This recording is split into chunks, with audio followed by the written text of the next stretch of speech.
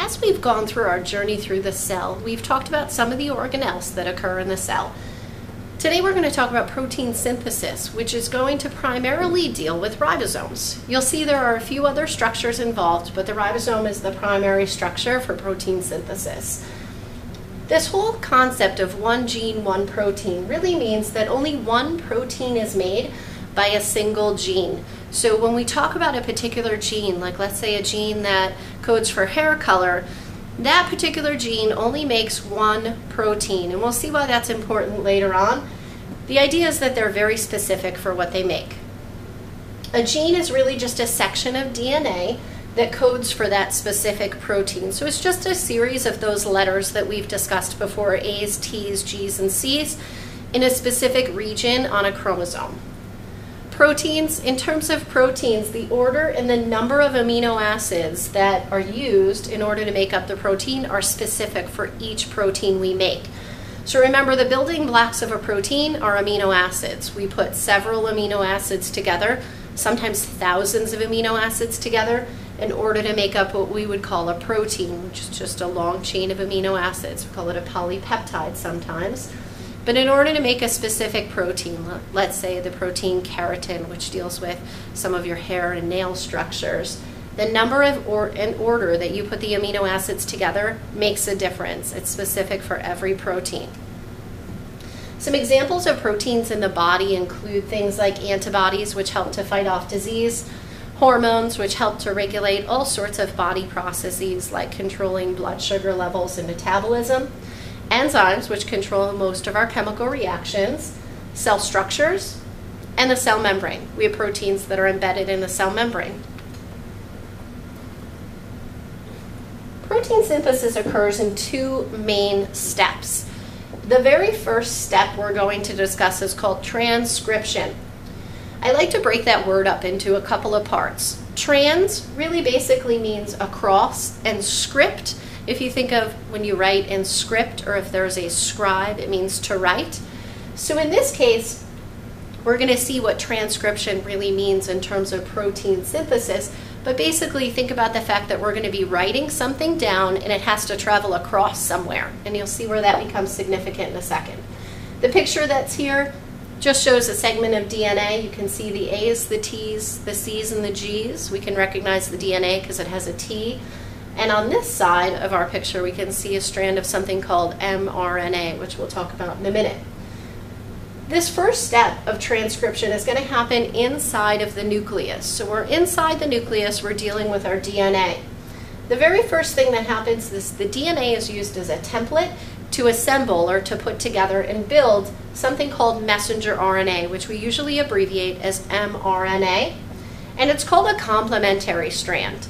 We call it a complementary strand because it's going to be built in a way that we know DNA was paired together. We know that with DNA we had an A would pair with a T on the opposite side and a C would pair with a G and so on. Well, the messenger RNA pairs in a very similar way. When we look at the messenger RNA and the DNA and the way they pair together, if there's an A on the DNA side, the opposite side, when we're putting together the messenger RNA, would have another base called uracil, which is abbreviated with a U for that symbol. If the DNA has a T, the messenger RNA side would assemble an A with that. A G pairs with a C, and a C pairs with a G. So you can see really the main difference is, is that the messenger RNA has a different base in place of a T. It has a U. So in this case, the messenger RNA is used as what's called a messenger. Think of a messenger sending a signal or sending some sort of information somewhere else. And it's sending the information for the DNA code to go to the ribosome. The reason for this is because the DNA doesn't leave the nucleus. If the DNA were to leave the nucleus, it could get damaged. If our DNA is damaged, then the instructions for our organism to survive could be lost. So the DNA stays in the nucleus. We don't want to lose our original, and the DNA is our original message. So we use the DNA as a template. Those of you that are artists, you might have special templates to make like a perfect circle or a perfect square. You can kind of think of DNA in that same manner. We have it as a template, and we don't destroy the template, it's used as a guide to make something new. So we've already talked about our messenger RNA bases. A is still adenine. U now is something called uracil, which is going to replace thymine. G stands for guanine and C stands for cytosine, just like it did in DNA. So we're going to have a complementary strand. So if the DNA had an A, our messenger RNA has a U. If the DNA has a G, on the opposite side, we're going to pair a C with that on our messenger RNA, a C with a G, a C with a G, a T with an A, an A with a U, a T with an A, and a G with a C. Once we get done with this step and we've written down the code from the DNA, that messenger RNA is going to travel through the pores of the nucleus to go on to the next step. Remember, we don't want our DNA to leave the nucleus at all, because if it does, it could get damaged. So that's why we make the messenger RNA. We also don't want to mess up our template, our original. Once it leaves the nucleus, we move on to step two, translation. So you saw in step one, we wrote down the code from the DNA and it moved across the nuclear membrane through the pores. Now we're going to translate that code. Most of you probably don't understand what those A's and T's and C's and G's mean, and your body kind of doesn't really recognize them either. It recognizes amino acids and proteins. It doesn't recognize the DNA code. So we need to translate it into something that the body understands. So during this step, the messenger RNA is going to exit the nucleus through the pores and travel to the ribosome. So here's where our ribosome comes into play to be read, and we'll talk about that in a minute, by something called tRNA. It's called transfer RNA, which is a new molecule now, and it's going to help us to build a protein. So I'd like you to be able to pause this and try to sketch some of this diagram so you can see what's going on. Our pairing rules, when we talk about transfer RNA in this case, are going to be similar to what we had before. But in this case, we're going to have transfer RNA reading the messenger RNA. So it's really two sections of RNA next to each other. So we're not going to have any T's in this case at all. So the pairing rules, if there's an A on the messenger RNA, we would bring in a U on the transfer RNA, a U with an A, a G with a C, and a C with a G. So once the messenger RNA leaves the nucleus, it's going to go to the ribosome. This big structure here is representing the ribosome. It's kind of helping to hold things in place. And essentially it has this little holder to hold the messenger RNA in place. And as it holds the messenger RNA in place, the transfer RNA is going to come along and read the messenger RNA in segments of three letters, and they're called codons. So three letters at a time get read, and we call those codons. In this case, you can see that we have a codon that's AUG. In this case, it just so turns out that our body has special codons that tell it when to start making a protein and when to stop making a protein. And the cool thing about that is it's kind of like a sentence. We can recognize the beginning of a sentence because we have a capital letter. Our body recognizes the beginning of a protein by seeing these three letters in the beginning, AUG, and it knows we're going to start making our protein here. It also knows when to stop as well and has a special stop codon.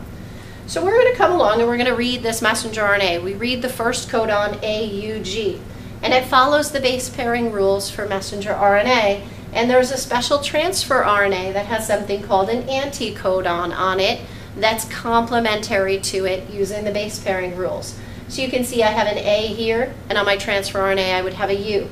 A U would pair with an A on the transfer RNA, and a G on my messenger RNA would pair with a C on the transfer RNA. So a transfer RNA structure that has the UAC anticodon would temporarily bind to this. And each transfer RNA has a special section on it where it has an amino acid attached to it. And that amino acid is specific for that code. So in this case, we bring in a special amino acid that's abbreviated MET. And once it brings that one in and reads that code and gets done, it's going to go ahead and read the next chunk of three letters, next codon, and it's going to do the same thing. So in this case, we have AAG for our transfer RNA, and it's going to bring in another amino acid, PHE, and so on, until we eventually go on to build our entire protein, and it tells us to stop. Now remember, the ribosomes are floating around in the cytoplasm, so we could have multiple proteins being built at the same time in different ribosomes. The idea is, is that each transfer RNA is going to carry one amino acid, and that they each have a specific anticodon. It's going to follow those base pairing rules. And we already mentioned that the messenger, messenger RNA has a special start and stop codon to tell it when to start and stop making our protein, kind of like a sentence. So we had two steps with our protein synthesis. The very first step that we had was transcription. So during transcription, remember we started with DNA and it had a codon, TTA, let's say, which are three letters at a time, and this occurs in the nucleus. On our messenger RNA, we would have special codons that would pair up with that following our base pairing rules. So if we had TTA on our DNA, we would have AAU on the messenger RNA. I'd like you to follow along and fill in the rest of the letters for the pairing rules for this particular step for transcription. The next step, translation, we had the anticodons on our transfer RNA reading our messenger RNA strand. So as we're reading our messenger RNA strand, we would have a special codon on here, GAC, that would get read with a complementary code called an anticodon, CUG. And this occurs at the step of the ribosome. In class tomorrow, we're going to practice building some more strands, and we're also going to do a lab that's going to help to reinforce this. You could also start writing some sections yourself and see if you can pair up and practice those base pairing rules along the way. Remember though, our amino acids, as we put them together and build them, we're going to build what's called a polypeptide chain. Poly, remember, means many, and eventually we'll build that protein.